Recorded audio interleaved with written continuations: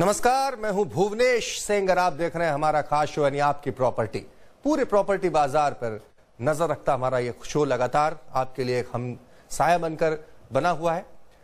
बात मंदी का आलम की है, क्योंकि केवल कार या बाइक बाज़ार पर नहीं पसरा हुआ है।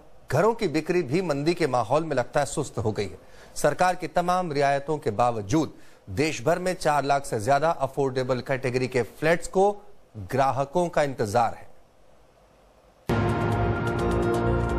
बीमार हो चुके रियल एस्टेट सेक्टर में संकट का दौर जारी है। सरकार की तमाम कोशिशों के बाद भी इस सेक्टर को बूस्ट मिलता नहीं दिख रहा है। ग्राहकों के न आने से ज़्यादातर बिल्डर्स के प्रोजेक्ट्स रुके पड़े हैं या ठप होने कगार पर पहुँच गए हैं। हालाँकि रेरा के आने के बाद ग्राहकों का भरोसा इस सेक्टर में एक बार फिर जगा है, लेकिन जब बात घरों की बिक्री की आती है तो आंकड़े कुछ और ही बया करते हैं।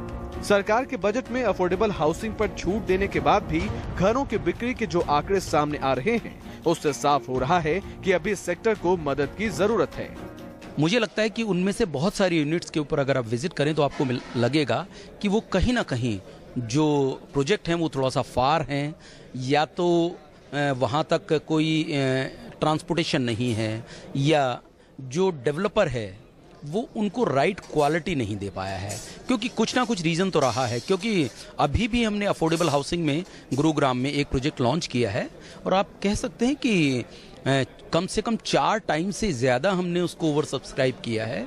तो राइट प्रोडक्ट राइट कस्टमर और राइट लोकेशन अगर आपकी है तो मुझे लगता है कि डिमांड जो है वो बहुत ज़्यादा है। अब इस बात को समझना ज़रूरी है कि अफोर्डेबल हाउसिंग में छूट मिलने के बावजूद बिक्री में सुस्ती का माहौल क्यों दिख रहा है।